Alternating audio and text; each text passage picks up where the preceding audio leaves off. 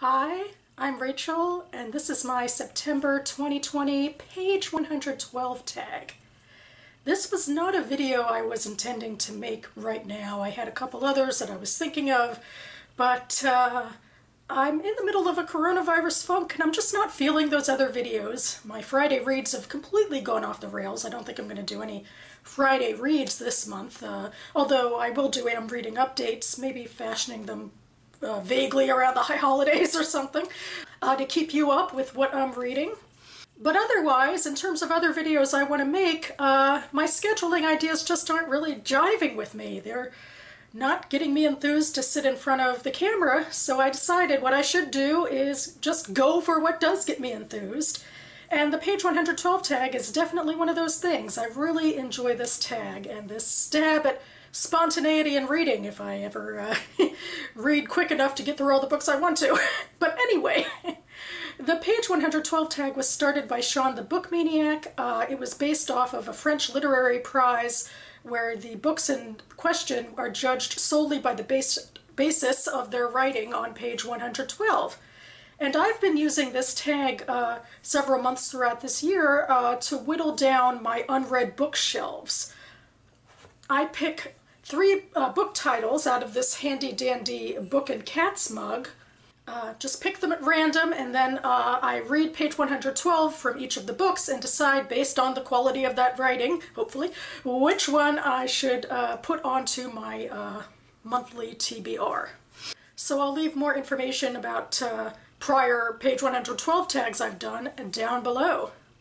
But for now, let's get into choosing the books. I always find this really exciting, I guess because I do so much pre-planning, which lately I I've been overwhelmed by my pre-planning and I guess I need a little more spontaneity. So here we go. Let's see what I could open. Is this one down here? Maybe it'll be from a while ago. I should say all of the books in here I've acquired uh, in 2019 or before. So this is book one, Ruby by Karen D. McIntyre. Okay, uh, well, I got this book uh, last year, uh, early in the year, uh, at uh, the MWA, the Maryland Writers Association's annual conference, March 2019. Of course, the 2021 was canceled. so I went and I went to a lot of panels and I wanted to support my fellow authors and this author, Karen D. McIntyre, had, uh, McIntyre had published, uh, self-published her book Ruby. It's, a, I think, a historical fiction book. She got a couple of awards for it. So I went ahead and I got it signed, and now it's sitting on my shelf. And maybe soon it'll be sitting on my TBR.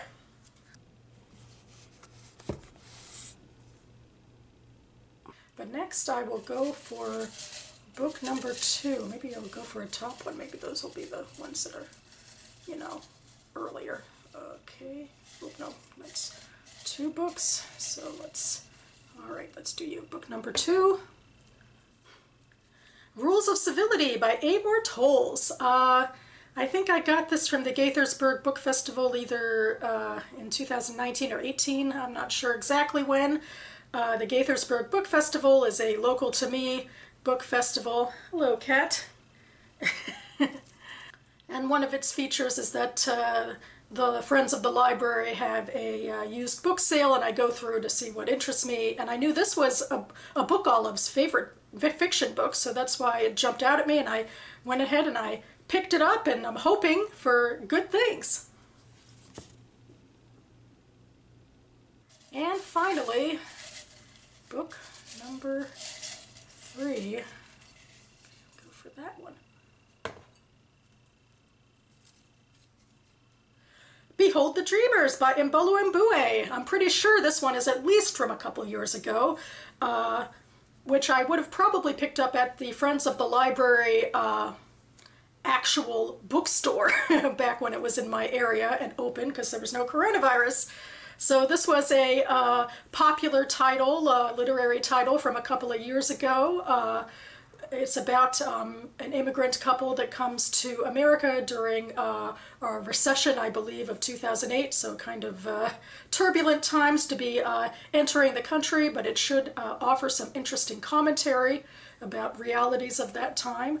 Um, And I've been very excited about it because it was so buzzy, so maybe this will finally be my chance to read it.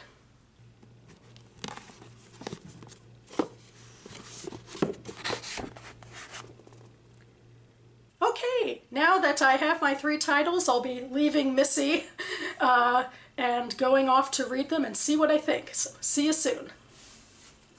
Okay, I'm back and starting with book number one, Ruby by Karen McIntyre. As mentioned, this was a self-published book and the spacing is a bit different than traditionally published. There's uh, more space in between the paragraphs, so technically speaking, I don't think I'll be reading as much for this one uh, as usual. I actually, uh, when prepping for this, read the first paragraph of the next page, but I didn't necessarily think it added much, so I don't know if I'll do that. But anyway, here I go. In fact, maybe I'll bend the rules in the opposite direction, kind of, not really, and just bend the rules and start with uh, the beginning of the sentence that begins on page 111. So here I go. If you want to bid on a girl, write your bid on a piece of paper, seal it up, and put the girl's number on the envelope. In the morning, I'll unseal the envelopes, and the highest bidder wins the girl. We clear? Sure, seems fair, one said. I think I'll get acquainted with this one right now, another said as he dragged one of the girls from the room. Joe barked at Ruby, Gimp, supper at six o'clock, now go. As Ruby turned to leave, she noticed Doris watching her. It was then that Ruby realized Doris had observed the whole introduction of the girls and the demeaning inspection process, but had not participated. This seemed odd, but then again, who knew what was normal for these sort of people? As the men left with their choice of girls for the afternoon, Ruby noticed that Joe and Ray had stayed behind to talk to Doris. You didn't try to claim one of the girls. Gotta wonder why, Ray asked. Oh, I'm pretty sure I know exactly who I want. You'll just have to wait till morning to find out, Doris answered, laughing. Okay, off the bat I'm doing all of this projection stuff that I shouldn't be, because this kind of feels like a brothel scene in that men are taking women away for the afternoon after a demeaning process of some sort, and there's some bidding process as well, although it doesn't necessarily seem to be connected to the men dragging women away at this particular moment.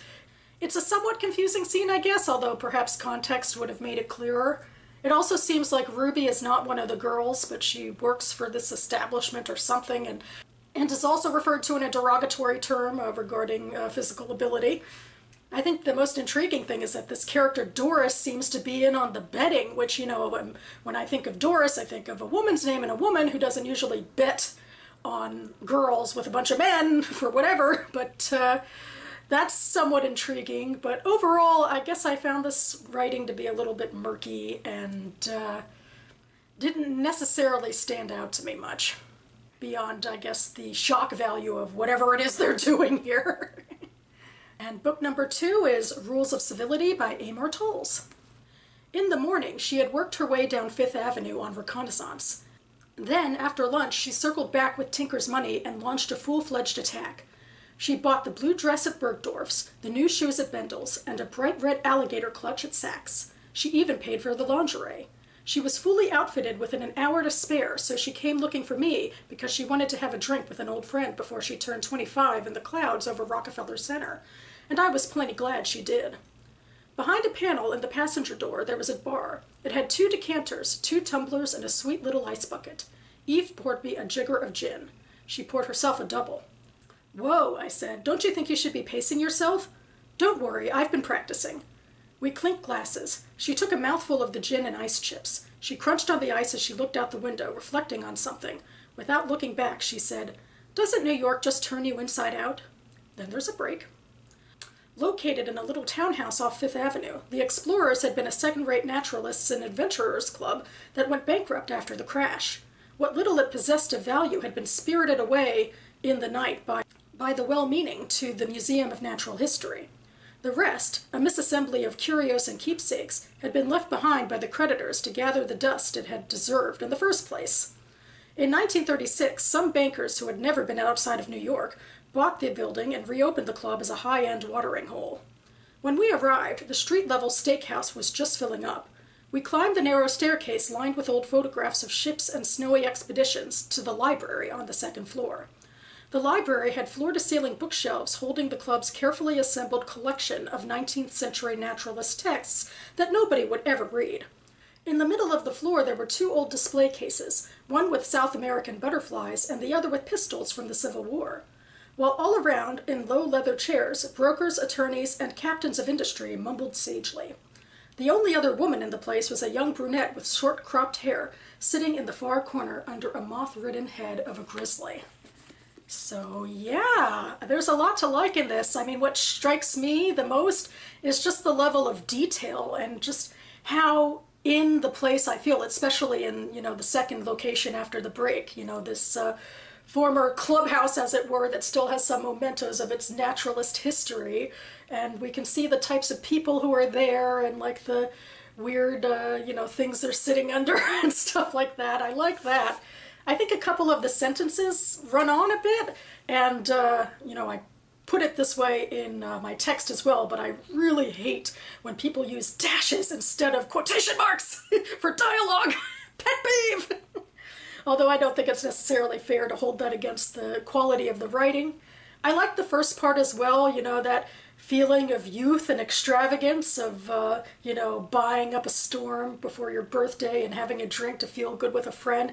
It's stuff that feels timeless, and I guess I'm projecting again, just because I know this, you know, takes place, you know, around the Depression, and so it's a different time period than like now.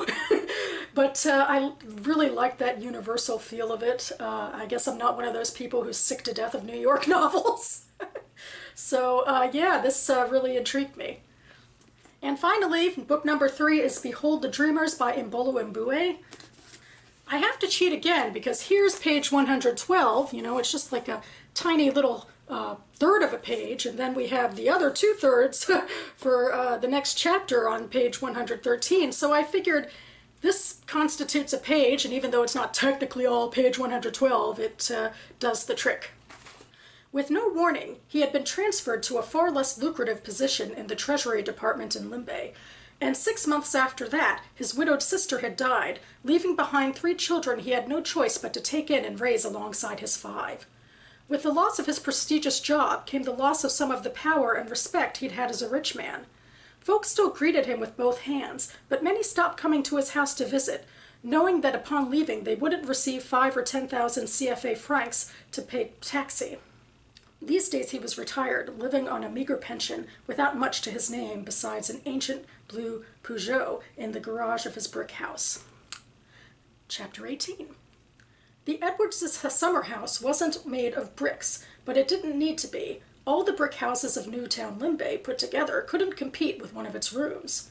When Neni had first gone there with Anna to learn her duties, she had tried not to show Anna how odd she was, but Anna must have seen it on her face. Her eyes couldn't stop roving from the moment they stepped outside of the cab into the front of the two-story warm graystone and wood shingled house with meticulously manicured boxwood spheres on both sides of the four-columned portico. It wasn't only the size that astounded her.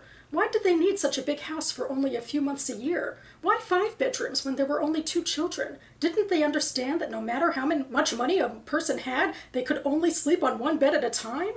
But also the profuse elegance.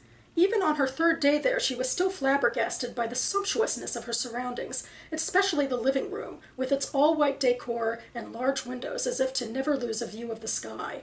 She was astonished by its spotlessness, which Anna told her was because Cindy hated dirt even more than she hated cheap things. So yeah, I find this to be very similar to the last book. I love the lush details. I mean, it's a very different set of details. I mean, the way that the house in chapter 18 is described is much more domestic, obviously, than a clubhouse, you know, for meeting up. Uh, but it's just still had that lushness in the language. And it also had the, the same fault of, I think, a couple too many uh, run-on sentences. I also, you know, like the little part at the end of uh, chapter 17, which uh, seems to be different. And just to project again by what I know about it, uh, the book, you know, it seems like the end of chapter 17 might be about a main character living in Cameroon, which is the country that the characters come from, and seems to be talking about his loss of esteem when he lost a job and uh, had, you know, extra troubles come in by way of having to take care of his sister's children. And then chapter 18 moves to America, at least uh, so it seems like as we start with uh, you know comparing uh, the houses houses of New Limbe Cameroon to this house uh, And so uh, Neni is a character, it seems, who's working in this lush, extravagant house, and Anna is maybe the owner or associated somehow. Uh, I really liked the writing a lot. I think there's a lot of interesting commentary about, you know, social and geopolitical differences right here. But, and I think this is, you know, in a way a travesty of the page 112 tag. There was just so much more going on in the Amor Towles book. And like in a way that's not fair because there might be some other pages that, you know, less is going on there and some pages here where we have a lot more detail about different people in different places and just jam-packed. But it just stood out to me like uh, how much richness of setting uh, and character I got in this one. Uh, where there were, and there was also dialogue in this one, uh, versus uh, this one where there was a lot of uh, great description, but uh, not a lot of dialogue to introduce us to the characters, and not as much description of places, although in a way that's really not fair. It just has to do with, you know, what's on the page. I mean, I was reading like the tail end of one chapter and the tail beginning of, or the very beginning of this next one. But anyway, I've decided, I guess. this one is going back onto my to read, be red shelf, although I hope to be getting to it soon. And then this one will be joining my September TBR. Maybe I'll have to spam Abookolive's uh, channel or Twitter afterwards to tell her what I think of it. So that about covers it for me now. You can find the Goodreads pages for all of these three books linked down below. And I also have a little something that I put into all of these page 112 tag videos because I also feel a little bit indebted to the YA uh, booktube community and uh, people who have been playing TBR games that they've made up uh, to diversify their own reading and, you know, add that spontaneity. Uh, one of the first people who really started off this trend was Becca, who made a Bookopoly game based off of Monopoly. And uh, this month, in September, she's doing this Bookoplathon, where she made a board and made it public somehow for people to print off the board and the cards associated with the game so that everyone could choose their uh, September TBRs from Bookopoly. And a lot of people are participating, and it's been really fun to see the different experiences people have had playing on the board and so forth. So I'll link to a playlist for that down below as well. Meantime, I do expect to be back really soon with uh, an am reading video of some sort. I am saying really soon to remind myself to stay on the ball of reading and prepping. Uh, I do enjoy these videos once I have the content to make them, after all. And there's plenty of books I'd love to get through this month. Only about half of the month left. no pressure. so I hope you're all doing okay with your reading goals. Thanks so much for watching, everyone, and I'll see you next time.